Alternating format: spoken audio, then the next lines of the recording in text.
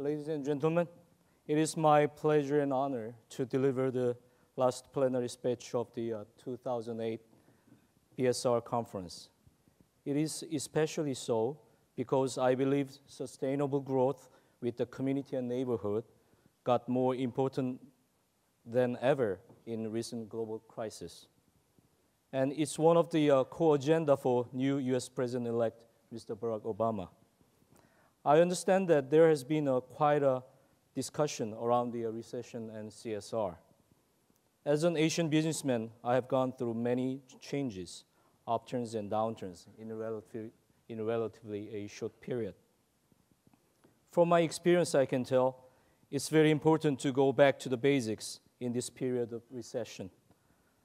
Aligning a current business model with a new set of emerging societal expectations is becoming even more important. That's why I'm looking at CSR as completion of customer satisfaction management. I think we have to go back to the basics in order to win the hearts of customers and be successful in this difficult period. The age of collaborative innovation has dawned upon us, promoting shift in paradigm from competition among individual companies to companies among groups of companies connected by a supply chain. SK Telecom helps its uh, small and medium-sized business partners by arranging loans or joint R&D. We also assist them when we expand into overseas market together. In particular, I would like to draw attention to the uh, SK Win-Win Partnership Academy, through which we have offered training programs for partner firms. Employees of our partners can take basic courses online, while more advanced programs are available through offline classroom provided by uh, SK Telecom. In this way, we are fostering our partners' capabilities, or in other words, teaching them how to fish, not to not rather than uh, giving fish. The academy has been a huge success, with 18,000 people taking advantage of more than 100 courses offered in 2007 alone.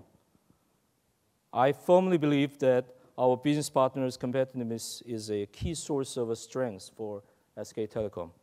When deciding on the purchase of products or services, consumers now want to know how the company providing them is fulfilling its role as a good corporate citizen.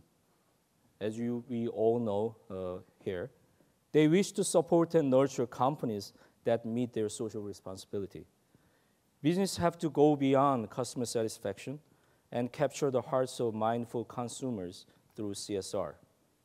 At SK Telecom, we are certain that we can go beyond customer satisfaction and create customer happiness. In our view, that signals the completion of customer satisfaction management. I believe that CSR is no longer an option. It is a necessity for sustainable growth and development of a business entity. We demonstrated our commitment to social responsibility with the issuance of our first sustainability report in October 2006 and by joining the uh, Global Compact in May 2007. Recently, we reinforced our internal process and system and set up the uh, Corporate Citizenship Committee under the Board of Directors. Being a responsible corporate citizen mean, uh, means a assuming responsibility for the way in which we interact with the society. As the CEO, I have devoted much attention to inspiring employees to fulfill their roles with a sense of duty over the past five years. We are facing a true perfect storm. I think you have uh, watched the, uh, the, the movie Perfect Storm. Some are adapting to the change and becoming even stronger when others are falling behind. Amid rapid change in the global business environment, inequality issue has emerged as a serious global issue, especially a serious impact by this uh, financial crisis. Government social security systems alone cannot resolve all social problems.